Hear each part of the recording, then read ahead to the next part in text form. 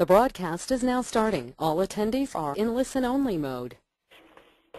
Good afternoon. Welcome today's, to today's webinar, An Introduction to State Aid in New York State. My name is Matthew Darius. I'm the Professional Development Coordinator here at ASBO, and I'll be moderating today's program. Your presenters for today's program are Andrea Hyrie and Bruce Jeziolowski from the Office of State Aid at the New York State Education Department. If you are listening to the webinar over the phone today and would like to speak to our presenters, please press the raise hand button on your GoToWebinar control panel and wait until I call your name. If you are listening over the computer, many of you are, you will need a microphone installed on your PC in order to speak. If you do not have a microphone or you prefer to type your question, you can do so by typing into the chat window or using the Ask Question function, which is a button on your GoToWebinar control panel, and then typing in whatever your comment or question is. Uh, now that we have basics out of the way, uh, Bruce and Andrea, please begin. Good afternoon. Um, welcome. Um, hoping that, uh, this is Andrea Hyrie from the State Aid Office. Um, hoping that uh, this crowd is uh, relatively new to the state aid world because this is a very basic presentation. Um, first, we're going to cover some real nuts and bolts uh, components uh, of state aid. Uh, then we're going to, in part two, we're going to talk about um, uh, the timeline of state aid to give you some insight into the state aid cycle. Um, and actually that portion of the presentation is uh, one of the things that you that, that would be harder for you to get elsewhere. We do have some resources for you to look further into aid formulas uh, uh, and the like, but uh, this uh, timeline and cycle stuff is um, hard to get all in one place, so we're going to spend some time on that. then we are going to give you some information about how to learn more about the formulas, some resources on our website and other places. Um, Bruce is going to talk about the um, output reports uh, that we uh, are our primary uh, vehicle for calculating aid and showing you how much aid you get. And then we'll provide some uh, tips for uh, you so that you can take some action to ensure that the aid that you're getting is correct and that you receive it, receive the payments in a timely manner.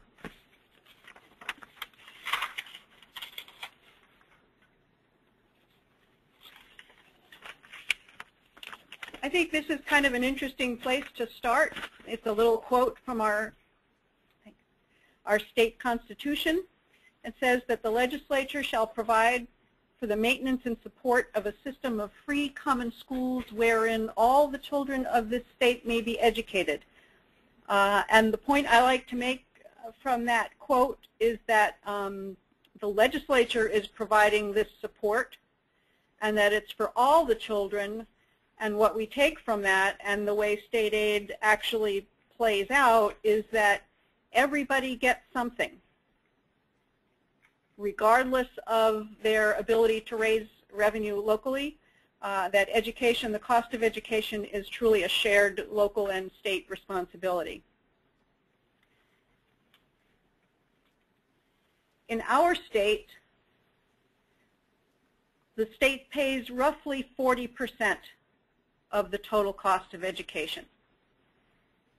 We have a relatively high local share at 52% and 8% federal, and that federal is relatively high right now compared to, to years ago uh, because of the uh, stimulus uh, monies that have been coming in.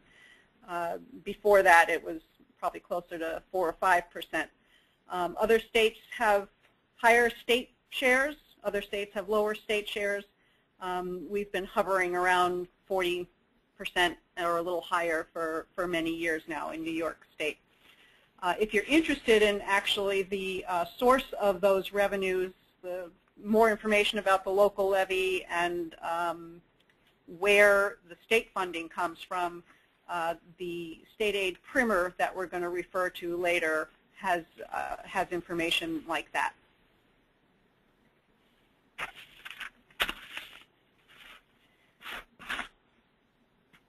I picked one uh, key concept for state aid because it uh, really applies almost across the board, certainly in terms of the proportion of state aid that's allocated uh, based on this concept. Uh, it, it's very high and, and I think worth going over in some detail and, and trying to relate a little bit to what you're eventually going to see on your output reports. And that concept is wealth equalization. And the idea is that the goal, one of the goals of the state paying aid is to equalize your revenues by providing state aid in inverse proportion to each school district's ability to raise revenues uh, locally for education, in inverse proportion. So the wealthier uh, a, a, school district community is in terms, we use usually terms of full value behind each pupil or income behind each pupil, theoretically and actually the less state support they should receive. And we measure this, we calculate and measure this uh, local fiscal capacity for state aid purposes anyway with things called wealth ratios.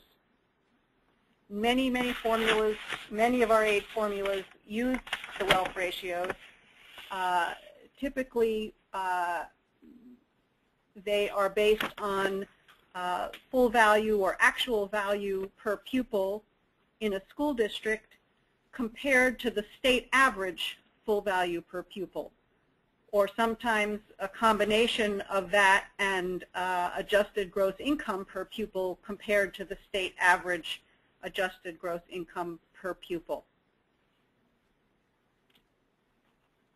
So the higher your wealth ratio, the wealthier you are in relation to the state average and the less state aid you would receive. Uh, and some of our major aids are uh, incorporate this wealth ratio concept. Uh, building aid, transportation aid, BOCES aid. At the beginning of all the output reports for those aids, you will see or somewhere in the output report, you will see the calculation of an aid ratio that will start with the calculation of a wealth ratio. You'll see full value and then you'll see a denominator pupil count. The pupil count may vary, but it's the same concept each time you see the calculation of an aid ratio. So once we've determined the wealth ratio, whether it's full value per RWADA or a combined wealth ratio, then we turn around and say, well, okay, what's the aid ratio? Typically, these formulas are uh, uh, wealth equalized formulas multiply a dollar amount, whether it's an approved expense, uh, by a state share ratio or an aid ratio. So often on your output reports, you'll see uh, an aid ratio, you'll see something like 1 minus and then you'll see the combined wealth ratio, which is the wealth ratio, and then what's remaining is the state share. So if you're, uh, just a generic example, if your wealth ratio is 90% uh, of the state average, your aid ratio could be 1 minus 90% or 10%. The concept being the higher the wealth ratio, the lower the aid ratio, and vice versa. Of course, anyone who's had any exposure to state aid knows that despite this equalizing principle, wealth equalization principle, there remain tremendous funding disparities among New York State school districts. And because the local revenue is such a large portion of total revenue for education, one would say that those disparities are primarily due to the variation in local fiscal capacity.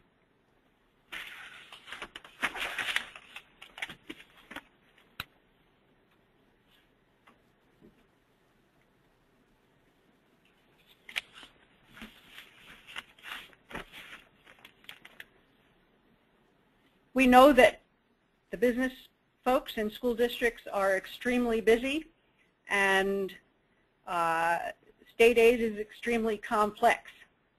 But I thought I would just mention that um, the combination of foundation aid and these four uh, expense-based aids that are listed here account for over 90% of the total state formula aids that we administer in this office.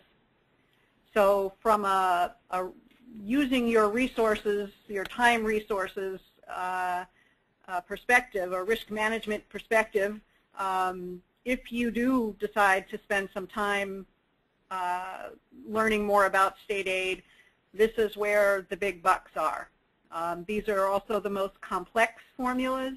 They have the most moving parts and uh, have the most uh, raw data items involved in them. So uh, there's that trend. Although we pride ourselves on doing everything correctly the first time, they are also the formulas that um, where there would most likely be uh, a, a, problem that would uh, arise. Um, so again, if you uh, want to if you have limited time and you want to focus on uh, anything in particular, these are the these are the ones to go to.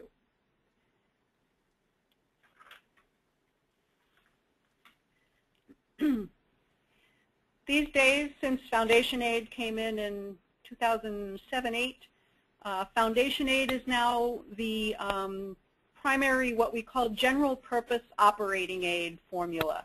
Really no restrictions on how you use that money at all uh, for your general operating expenses.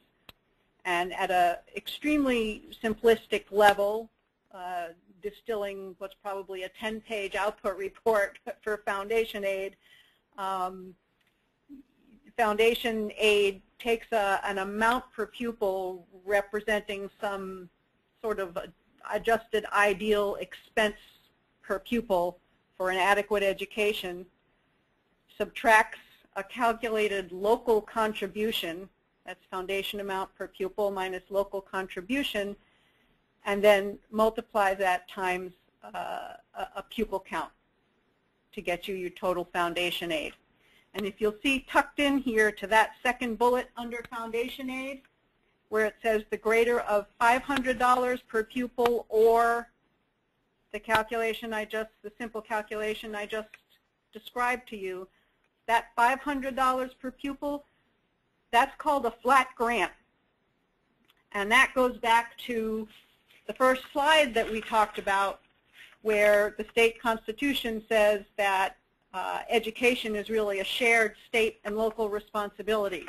And the way that translates into money in foundation aid is that any school district, regardless how wealthy they are, what their local fiscal capacity is, gets at least $500 per pupil in foundation aid.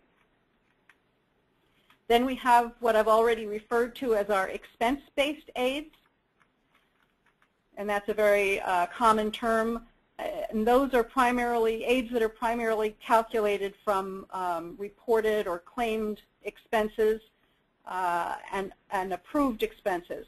Um, the difference between claimed expenses and approved expenses being that you may have spent uh, 500,000 on something, but the state law for a particular formula says, yes, but before you aid that expense, you need to deduct X, Y, and Z. So your approved expenses for aid are only, let's say, 300,000. Um, an expense-based aid generally apply an aid ratio to an expense amount. Then we have just a handful uh, in recent years of uh, flat grant aids, and the simplest example of that would be your uh, some of your instructional materials aids, where it's a, a dollar amount for, per pupil times a pupil count with no wealth equalization or anything like that, and that we refer to also as a, a flat grant per pupil. And uh, not much of the money that you receive is uh, comes to you that way. Most of it is in foundation aid and wealth equalized expense-based aids.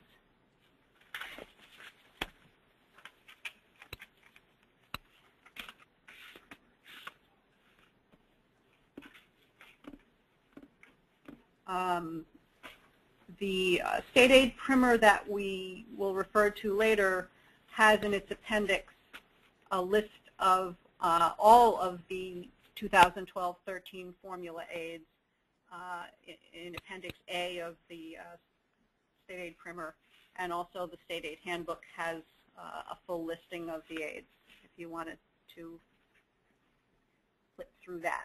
We're at about 15 to 20 aid formulas these days, depending on what you call a true formula. Um, but I just wanted to take a minute to talk about the payment side. Uh, these aids are not paid separately. You don't get a building aid check and a transportation check uh, and a foundation aid check. Um, and they're not all paid according to the same schedule. We have three, we have several different payments that we make, but three main payment schedules. The general aid schedule, the BOCES aid schedule, and the excess cost aid schedule, private excess cost, special education aid, and public excess high cost aid. Those are the three major payment categories. Each has its own schedule. And the schedule, the payment schedule throughout the aid year can also vary across districts based on various uh, fiscal factors unique to a district. We actually have a whole uh, separate payment unit in the Office of Education Finance that um, that handles payments. And uh, you may want to make a note if you want to read a, a nice summary of those payment schedules, uh, section uh, 4 of the state aid handbook that we're going to refer to later uh, toward the end of the handbook uh, goes over those payment schedules, contains the details of those payment schedules. And general aid, it's the biggest one, and that includes your foundation aid, your building aid, transportation aid, and many other aids.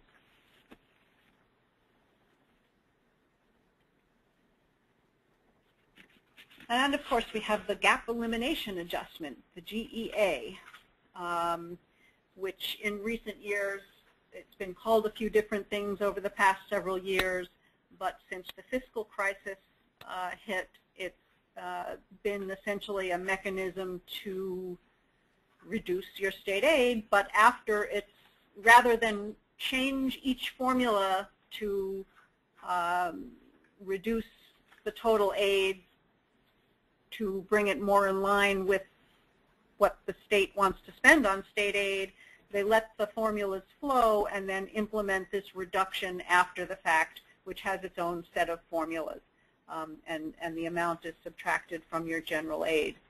Um, that we have an output report uh, that will be coming out in the fall uh, just containing that calculation uh, in a simplistic way uh, if you want to see the details of that calculation for 2012-13, the best place to look is in the uh, description of the um, state aid budget computer run or also our state aid handbook, 1213 state aid handbook. Section 3 has uh, a description of a full description of the gap elimination adjustment formula.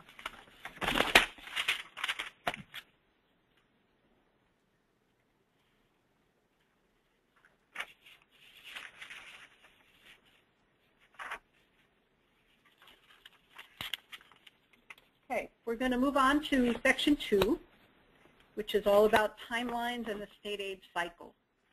Um, all of what we do in this office uh, is based on law and regulation, mostly education law. Some of our formula stuff is in other sections of, uh, of state law, but it's all based on uh, black and white. At least we try and do our best to interpret it as black and white in, in, in education law and in state law and in commissioner's regulations. Um,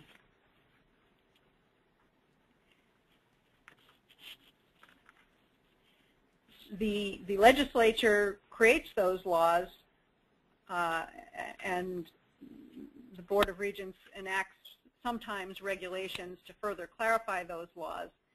Um, but the process starts with an exec in most year in in normal years with an executive budget proposal. That's the governor's also referred to as the governor's proposal. Um, it's published usually in January, so that, for example, this year proposals for 2013-14 aid will come out in the executive budget proposal in January 2013. Well, where do they get those numbers from?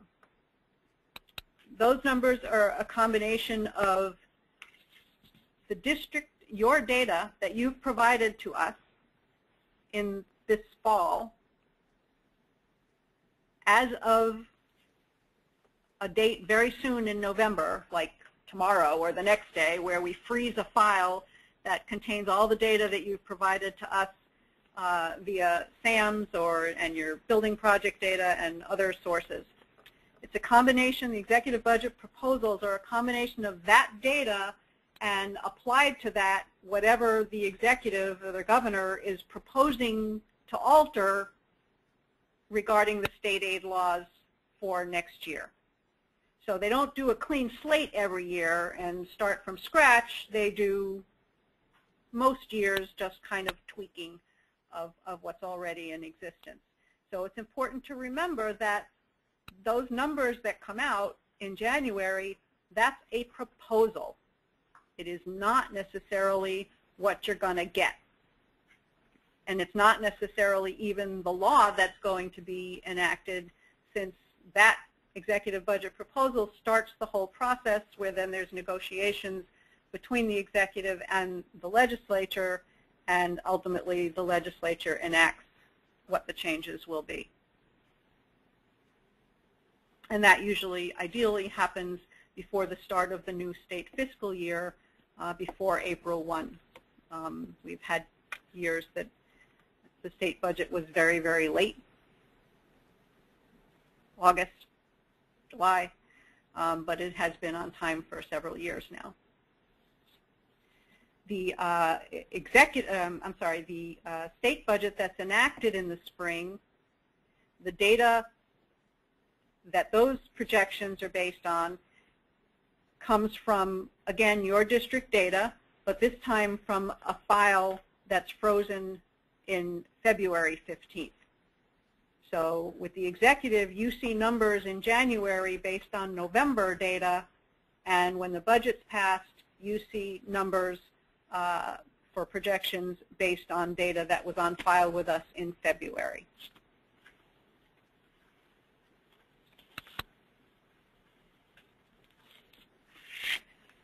For both the executive proposal and the uh, enacted budget, we post summary listings of both current year and the projected year formula aids on our website, and we mail to the superintendent detailed uh, aid and projection totals and formula descriptions and the backup data, what we call backup data for those calculations. Those are mailed to the school superintendent. Um, it, this is in red just as a little note here because uh, it seems that sometimes those materials don't make their way from the superintendent to the state, what we call the state aid designee, the person you tell us in your district we're supposed to talk to regarding state aid matters. So you do want to look out for those, um, you know, within several days after the executive budget is released and after the budget is enacted and obtain those materials for your review.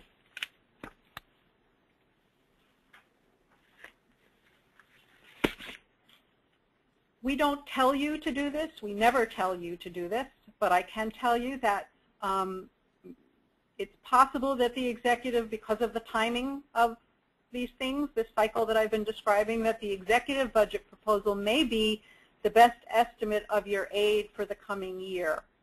And you may use that uh, to factor into your school district budget development in early spring. Um, again, it's a proposal. It's based on estimated data, and it's a proposal in the sense that we don't even know if that's what's going to be enacted. But again, it's all you have. I don't know if it's the best or not. It's all you have going into your budget process, uh, and and the accuracy of that that those projections is going to be based on what the legislature actually enacts, how much that differs from the executive proposal, and also on the accuracy and currency of the projections that you provided and that the BOCES provided uh, on which those proposals were based.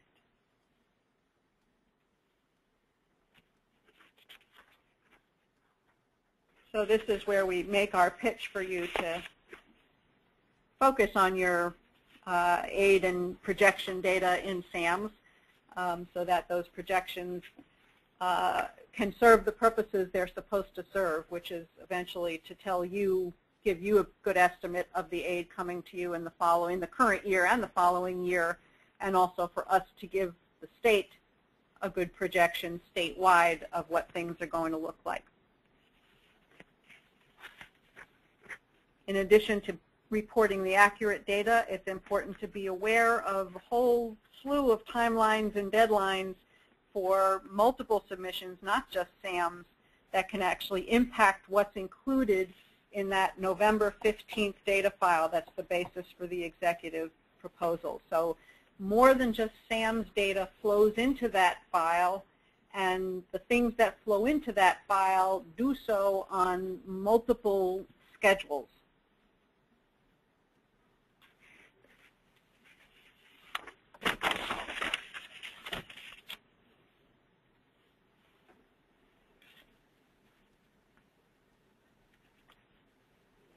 Okay, so how does it trans how does all this translate into what we do in our office? The executive proposals, projections, the numbers that you see, and the enacted projections, those are modeled on a system that's actually not even part of the state aid office. It's, it's another unit of the education finance office. So after they pass the state budget, then this office, in our office, we essentially recreate those aid calculations in SAMS, and the ones that we create in SAMS are the calculations that are the basis for your state aid payments. So to calculate your current year aid, we collect your claim and projection data from districts and from BOCES via SAMS, and the BOCES have their own version of SAMS for the past few years. And we throw in data from a bunch of other sources, other agencies, other SED offices, for example, STAC and Transportation Contract Office and bus purchase forms, a whole bunch of stuff we use to calculate your current year aid. Um, and the SAMS portion of that, of course, is, is due on September 2nd of each summer. It takes us between September and now, essentially, today, tomorrow, uh, to um, uh, look at the 700 school district claims, and each district submits four form sets and all the 37 BOCES claims, and to program and correct and check uh, all of the aid calculations. So we usually don't release the output reports showing you your current year aid calculations until around now or a little earlier some years and a little later other years depending on whether it's a rough year for us or not because of various things that might be going on.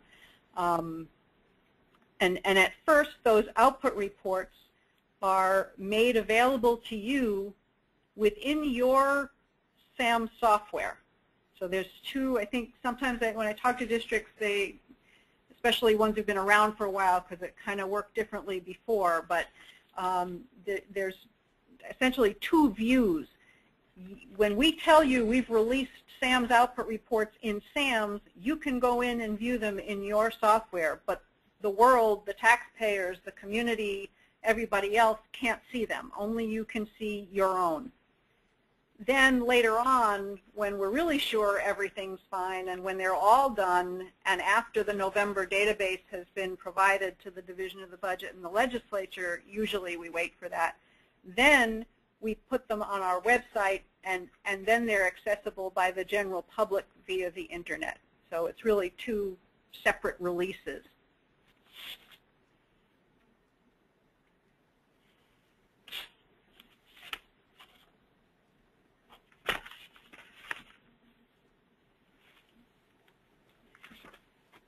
If you only ever look at one thing on our website,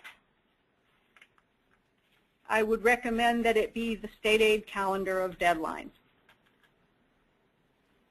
Um, it's been around for a few years now, um, and it's quite comprehensive, and it uh, it really in, puts in one place the most critical things you need to know about state aid. It's got fixed deadlines in it, and it's got something called uh, rolling deadlines in it. And what we mean by rolling deadlines as opposed to fixed deadlines are, for example, your uh, final cost reports for your capital project would be a rolling deadline because the due date for your final cost report depends on your project, unlike SAMS data, which is due for all the districts on September 2nd. So it's got actually two, sec two separate sections for those two kinds of deadlines. Um, and really and truly, I, I mean, I, I, never quite know what folks are looking for when they say they want to hear about how to maximize state aid. I mean, the law is the law and the data is the data. If the data is good, then the aid is correct. But from our point of view here, and those of us who've been here many years and had to wince so many times when people lose money because they miss deadlines, that really uh, one of the biggest parts of maximizing state aid from our perspective is not to lose any aid because of missed deadlines. And here's a list of, off the top of my head, what seemed like the most critical ones to me. Um, in particular, the final cost reports for capital projects um, that were approved before July 1, 2011. Um, there's a special amnesty uh, that was enacted last year, so if you've got a late final cost report and you get it in by December 31st of this year, you will not lose all the building aid on that project. You will only lose the building aid on that project for the number of years that the report was delinquent. But once that deadline, that 1231 amnesty ends, still for projects approved before 7-111, then you're back to if you uh, submit a late final cost report, you lose all the building aid on the project. Um, and that's not pretty. So, and then you've got here, uh, I've listed a few other uh, of the deadlines. Um, just to call your attention that June 30th is what we call our statute of limitations. Essentially, uh, for example, if you've got a transportation expense on this year's SAMS claim, an 1112 transportation expense for 1213 transportation aid, you can change that expense as many times as you'd like, as much as you like between now and June 30th, 2013. And after that, if you make a change that increases your transportation aid, you won't get it paid in this current year aid as 1213 aid. Um, you'll still get it if you uh, submit the change within the next school year, in other words, before June 30th, 2014. But if you submit it after June 30th, 2013, it will go on our infamous prior year queue, um, which is a long list of uh, adjustments to aid um, that are waiting in line to be paid for waiting in line for several years to be paid to school districts and the reason they wait in line is because we're only given uh, a small amount of money each year. I think it was 15 million this year to to draw to whittle down uh, that uh, list of prior year adjustments. So we pay which uh, however many we can uh, until the money runs out, and then we wait for the allocation for next year to pay it down. So if you need to make changes to your claim, it's a good idea to do it before June 30th uh, of the age year that you're making the claim for.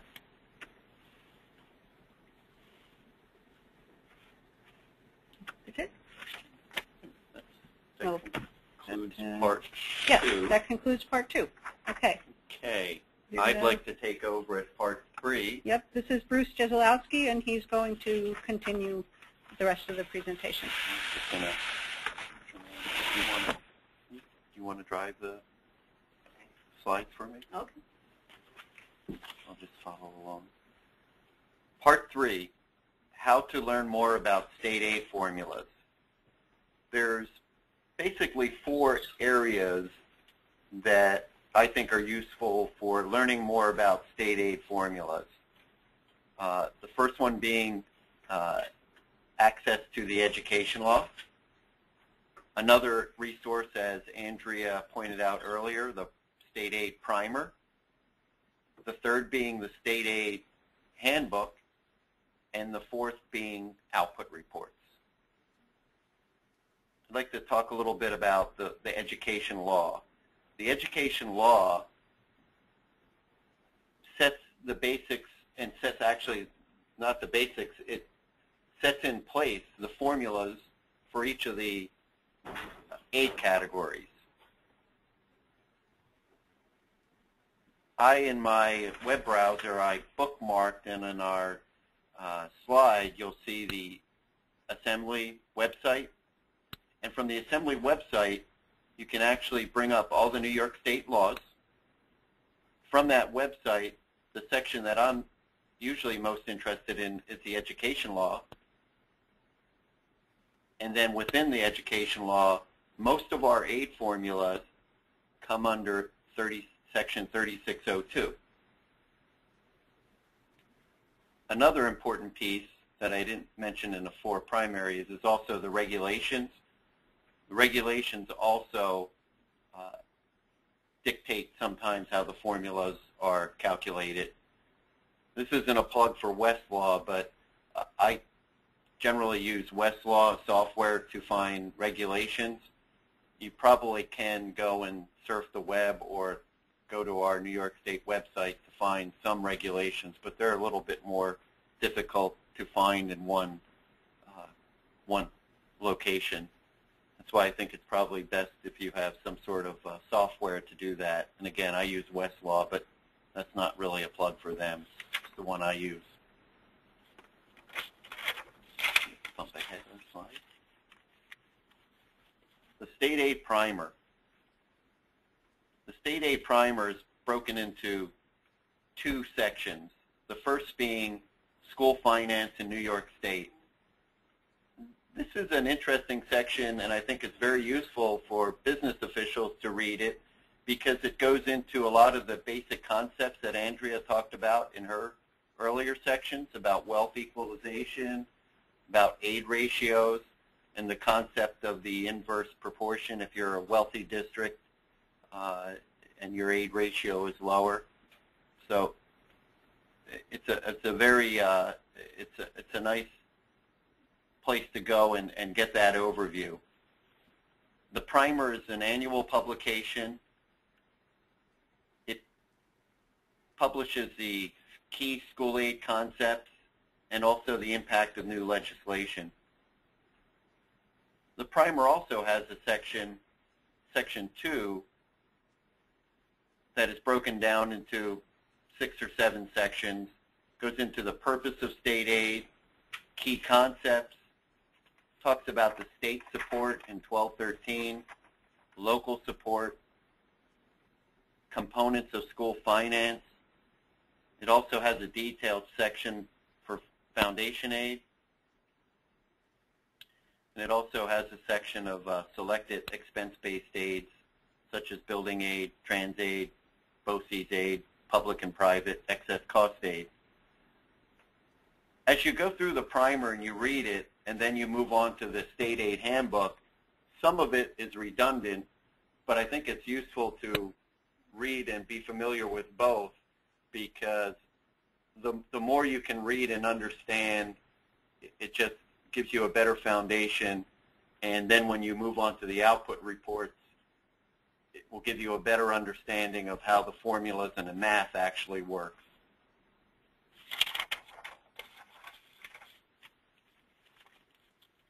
State Aid Handbook.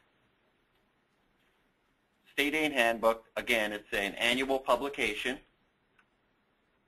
It provides a plain language narrative and the actual mathematical calculations for the state aid formulas for the current year.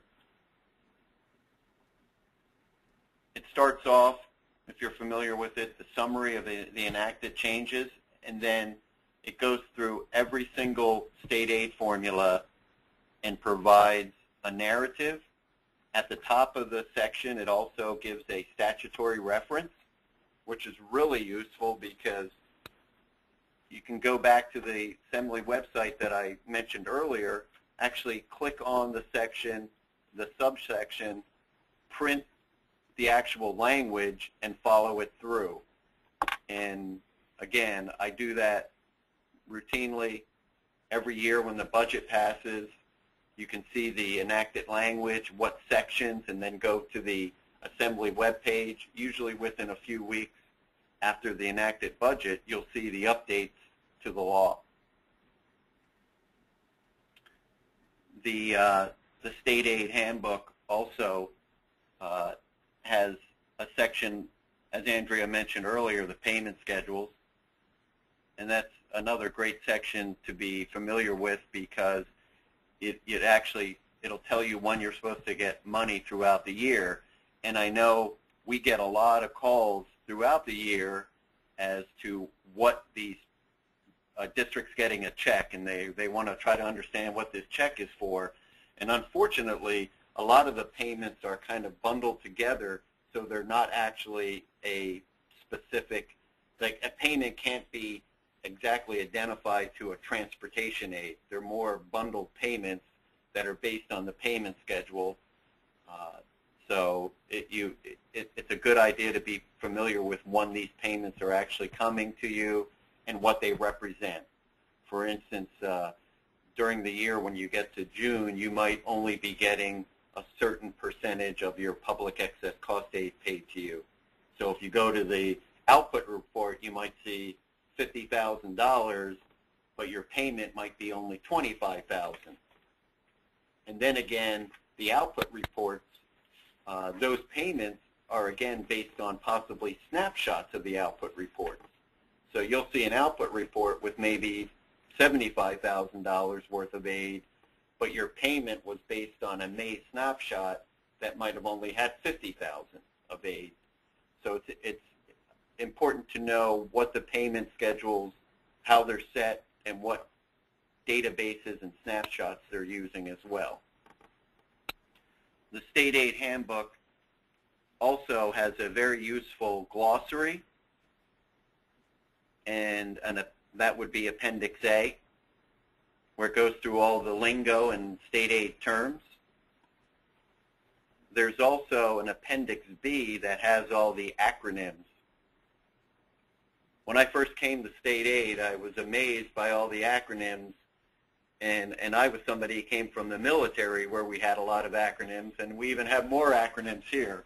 So it's, it's, uh, it's a good resource as well. Nice uh, listing of all of our acronyms.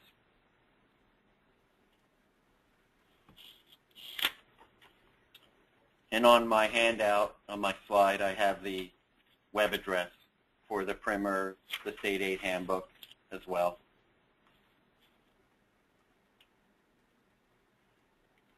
Next section, the next resource, something that uh, I'm very close to, the state aid output reports. Over most of my career at state aid, I've worked in, uh, closely with the state aid output reports. It's important to be familiar with the output reports, go through them, uh, look at the calculations. As we say in our slide, there's no easy way to learn the formulas you just really have to work through them, understand the math, and the math is, is usually pretty simple math. It's adding and subtracting, multiplying and dividing. It's not very heavy math. It's just complex where all the pieces are coming from. So as you go through an output report, we, we have them laid out and detailed, I think, enough that you should be able to follow through and trace it, all the pieces where they're coming from. Uh, but it does take some time and effort to do that. if you need assistance, we're, we're always here. Please give us a call. Uh, currently, we have 12 output reports for 2012-13 that are available in SAMS for business officials to view uh, after you log in. They're not yet public, but they're out there for viewing purposes, and we can go into those a little bit further on. When you log into SAMS as a business official, and you go to the state aid menu for the output reports, you click on the menu, it should drop down. As you click on each output report that's available to you, you'll see the status. For you to see it, you it's either has to be official or official and public. And what official means is if it's only designated as official, that means you can only view it when you're logged in as a user and you can only view your own reports. It's not yet available on the website on, via our state aid website interface. It's only available as, as a logged in participant of SAMS. One other thing when you're in the SAMS output reports. That's very uh, important to note, you can actually select various data areas to run those official reports against. The default, I believe, is it's going to run against your official data area, but then you can go into your drop-down and districts should have an official area, they should have a revision area, and a sandbox area. all the calculations on the output report are using official data. If your claim reports aren't all in and complete, the output might not be valid. For instance, if your transportation form FT is not in and you click on your transportation output report, you might not see TransAid or you may see minimal aid or you may see expense items that are coming through other ancillary systems that feed into SAMS. For instance, you may see bus purchase data there on your expense line, but you might not see some of the Schedule I or Schedule H uh, data expenses.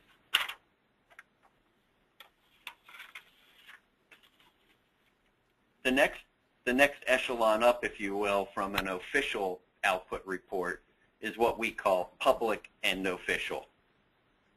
What that means is we have released it to go to the web report, the web output reports.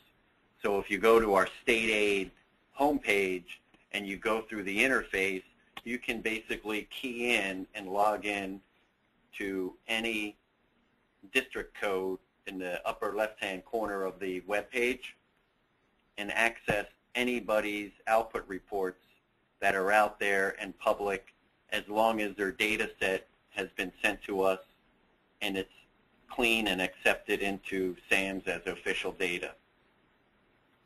One other thing to note that when you look at a public output report, it's current as of midnight the night before, whereas when you're logged in as a SAMS user and you're looking at those output reports in your interface area, you're going to be looking at it most probably as current data. Whatever you're signed in as, that date time is coming through as official data in your public reports, but or your official. But public reports are always as of the night before. And again, public can be seen by anybody. So it's, it's important to review your output reports for accuracy to make sure that they're out there for the public and it, you know, you want to make sure that what the public is seeing is accurate and complete. As we understand output reports and you become familiar with them, I did mention we had three data areas.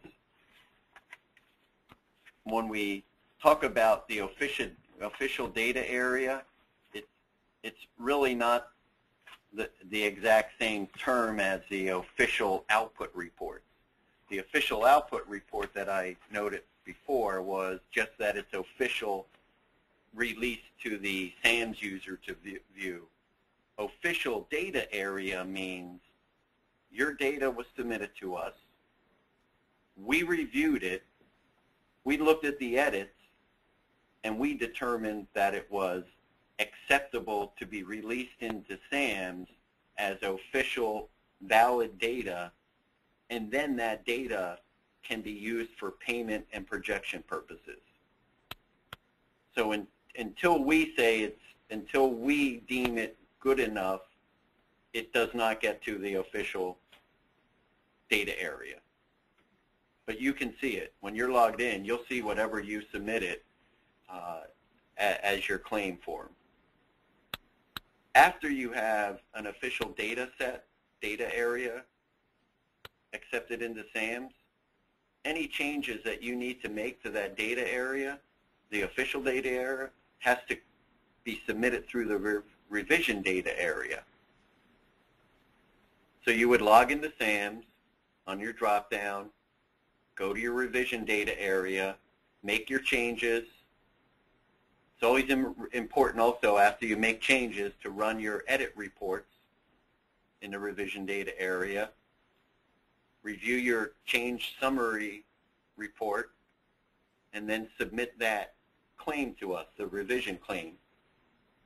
Again, we look at the revision data, we look at the edit reports, we look at the explanations if there are any posted. Then we accept that data, that revision data, and once we accept it, it then moves from the revision data area to the official data area. So if you then, once we do that, if you go into your revision data area, you won't see that anymore. It moves all over to your official. The other important area for you, for business officials to use and kind of work with, and I think it's a really great feature in SAMS, is something we call Sandbox. You can go into your Sandbox area, go in, click on Sandbox, go to any claim form, make changes, and then see how those changes flow through to the output reports. But to do that, you have to make a change in Sandbox, then go to the output report area and select Sandbox. Okay. Then you can do that as many times as you want. You can change whatever data you want it doesn't get its way into revision. It doesn't get its way into official. It's just for you to go and play around in and, and use as a tool. And we can use it too. I mean, any once you're in there, anybody can go in and change it. So it's really not a lockdown area. Uh, the other important thing to note is, let's say you're in Sandbox and you're making all these changes and you want to try to undo them or you, they're just there and you don't want them anymore, you can go to your change summary screen and there's a button that says clear entire sandbox. So you can click on that button, clear out your sandbox, and it resets it to the official data area. Okay, but it doesn't change any data area. It just resets it for you to go and then uh, do any type of what-if situations you want to do in Sandbox. Yeah. So it's a very it's a very nice feature, and it's powerful because you can see the changes right away on output reports and on claim forms. Another, I think, terrific feature of SAMS is something we call uh, SAMS snapshots when you're logged into SAMS, you click on the drop-down for output reports. At the top of the output report selection screen, you should have an interface that lets you uh, uh, see a drop-down menu for snapshots. And throughout the year, we create snapshots of various uh, data files. And in the slide, you'll see I listed uh, ones that we generally make available. The first one being the November 15th data. And this is the data set that the governor will use to build his executive budget. So in January, when the budget comes out and you say, well, I didn't know, how did the TransAid get to that of, of, uh, number? You can actually go on the snapshot and see exactly what you sent in for your claim, your base year and your projection year. And we can see it too. So uh, if you need to call us and kind of have a conversation with us, you and you at your end and us at our end, we can click on that snapshot and see the same data. So it, it's a very it's a very nice tool because in years before before this, we would have to have hard copy in front of us and hope that you would have the same hard copy at your end. So it was very cumbersome. Now it's it's very powerful. You can bring up a snapshot and do that. All the claim detail, all the aid calculations, everything. It runs against the claim set and the output reports. Some of the other snapshots that are very, uh, very nice to have and important, December 1, that's the data file that freezes your general aid payments through May. Then the May database, we use the May database to then pay, make the June payments. We also, the last couple of years, instituted something so that we would save a couple forests. We no longer print and send out to all districts the public and private excess cost aid output reports. We create a SAM snapshot, and I believe in, in last year and the year before we labeled it STAC update. Last year, the report was dated January 10th. The year before that, I believe it was January 31st. But we've synced up with the STAC office to create that extract that we publish. And then not, not unlike any other year before that, if you review those output reports and feel that you have data areas that, uh, or data errors or holes that need to be filled because STAC records aren't coming through, we would first ask that you call the STAC office to make sure that your claims were submitted properly. And then after, if they are and there's other issues, typically the stack office communicates those areas to me and we resolve any inconsistencies.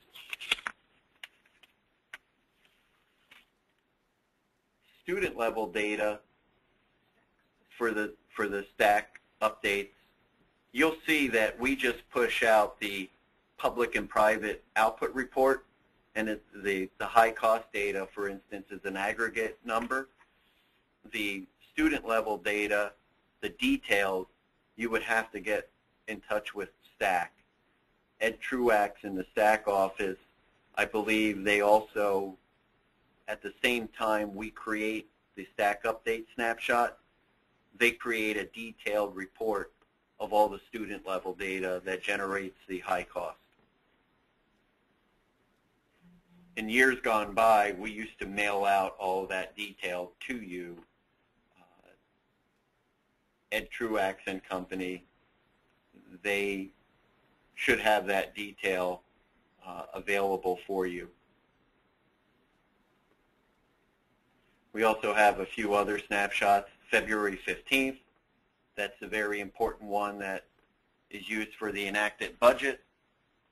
May 15th, for the June payment, August 15th for the final September payment. All these snapshots are very important, very critical uh, in what they're used for. It's a good idea to go out there and, and take a look when those key snapshots are put in place. And, and uh, if you do see anything that looks odd, if you have any questions, feel free to give us a call.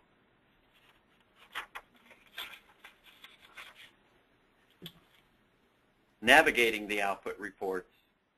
As I mentioned earlier, the output reports are fairly straightforward. They seem complex. They seem overwhelming sometimes. But if you really kind of slowly go through them, they're laid out all in the same consistent manner. They have a plain, uh, hopefully a plain English to somewhat uh, description. They have a source column and then a calculated amount. The source column, it's either a straightforward reference to where the item is being pulled from. For instance, the GEN report is a summary report that shows all the GEN aids and then calculates some totals for payment purposes. And there's some other categories within the GEN that we roll up and, and calculate some wealth parameters. But generally, the general aids output report on the first page, it references other output reports where the totals are pulled from. For instance, the TRA and the building aid, those total aid amounts are actually calculated on other output reports.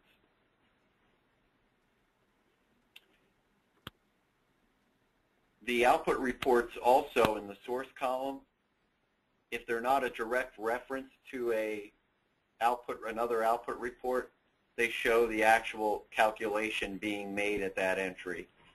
And again, if you have any questions, feel free to call our office, either the program area, or if you have other questions, uh, I'm usually available.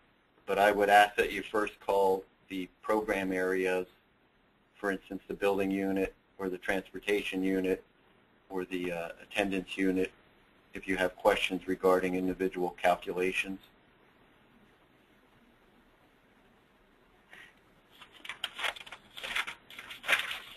When to check the output reports. Anytime you submit, well, first of all, once they're available, it's important to check them. So typically mid to late October, we start publishing output reports. And up through December 1st, when we create the first December 1st payment schedule, all of the critical current year output reports are typically published and viewable by districts. So it's important to look at the output reports during that time. Also, it's important to look at output reports anytime you send in a SAMS revision that you think is going to impact aid. For instance, if you submit a Form FT revision and you know it's current year expenses, or actually prior year expenses, it should impact current year aid.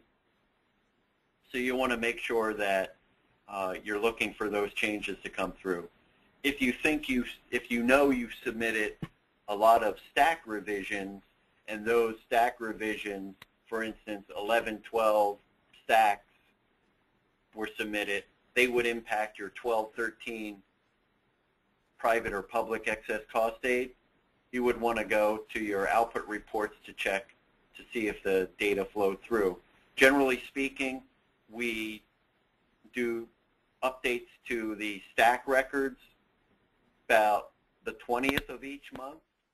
So I would look at the end of each month to see that the STAC updates that you've submitted clear through our system and are showing up on your output reports.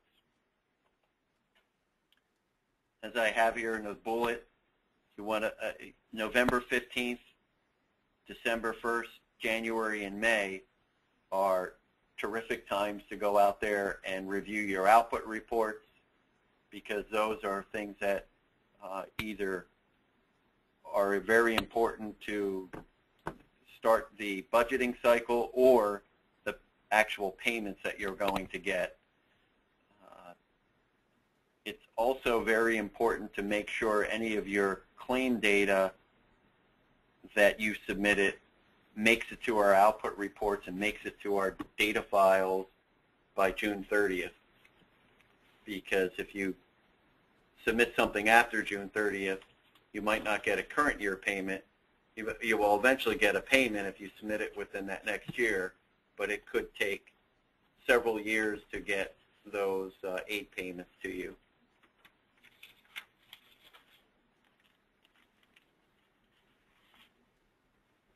Part 5, tips for ensuring aid is correct and timely. This is kind of our summary at the end to really wrap it up, to, to really kind of make sure that everything is uh, correct and, and timely and we pay it when you should get it and you're not delayed because we really don't want to delay payments. We don't want inaccurate payments. Our job is to you know, really produce the, the correct final product for you. So the bullets. First thing, submit SAMS claim forms in a timely manner and provide accurate data. In order for us to produce an accurate November 15th data file, we would really like to get everything to us close to November 2nd as possible or before. We realize that's not always possible, but the sooner the better so that we have time to check it at our end as well. Review SAMS edit reports. This is very important. Whenever you fill out a claim form and run the edit reports, we really need, if there's, if there's a, an edit kicking out, we go through every year and we really do try to make the edits useful. We try to get rid of any redundant edits and we try to make them only, uh, if we have an edit, it's important to us for, for some reason. We do really go through each year and try to uh, make those not only important but necessary. And we look for substantive comments. Just saying that the data went up and it's correct isn't really a substantive comment, and, and a lot of times we will contact you and, and possibly not clean your forms until those edits are resolved. And uh, we are looking for, for clear and, and, uh, substantive comments. Third item, submit documentation for building projects, leases, transportation contracts, bus purchases, bus and garage leases, as required by law and regulations. As Andrea pointed out in our deadlines calendar, you can go through that deadlines, and there's a lot of links, and it'll it really lays out what we're expecting you to submit as documentation throughout the year and a lot of the links are pointing towards what's required by law and regulations. We also ask that you submit to the STAC office the claim data that's important and timely.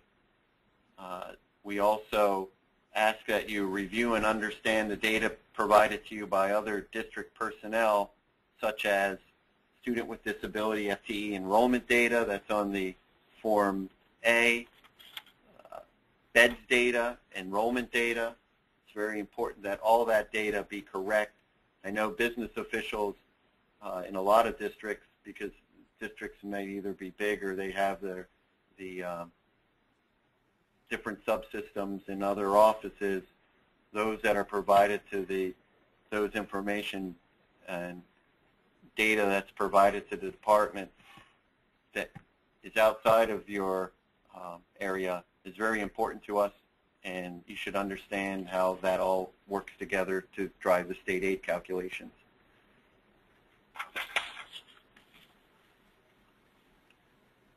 Periodically review the state aid calendar. Think Andrea said earlier, if you look at nothing else on the state aid website, that would be her you know, number one tip for you to do, and, and it is important it's it's a great resource. If you look at it once a month, you bring it up. What do I need to do for state aid purposes this month? And, and take a look at it. It's a great, great resource. Uh, quick explanations, has links to other offices, and has contact information. Great resource. And the other area other thing that we ask you to do is look at, go to the state aid homepage frequently, periodically, once a week, and check to see if we have any important notices out there.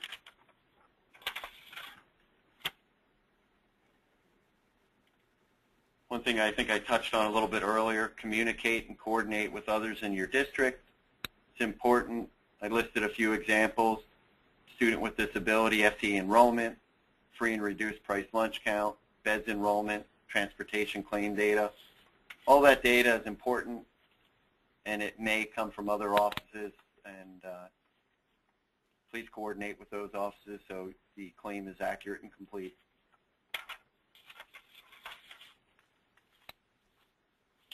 Another thing that sometimes is off the scope a little bit, but it's very important to go and click on the BOCES component output reports and understand what data is flowing through there.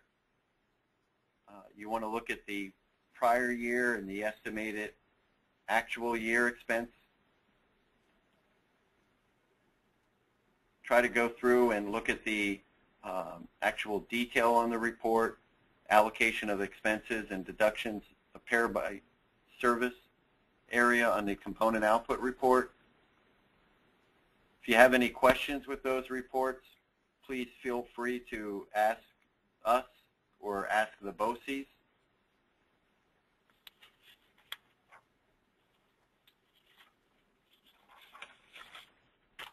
Again, if you have any questions, we have several several aid areas in the office, and uh, there's a few supervisors that are more than happy to answer your questions and walk you through any state aid calculations or point you to uh, reference material to help you out.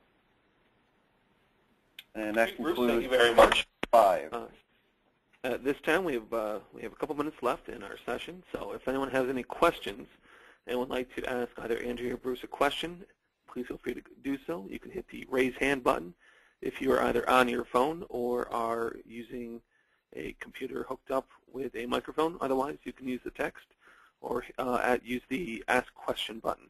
We'll give you 10, 15 seconds to go ahead and do that.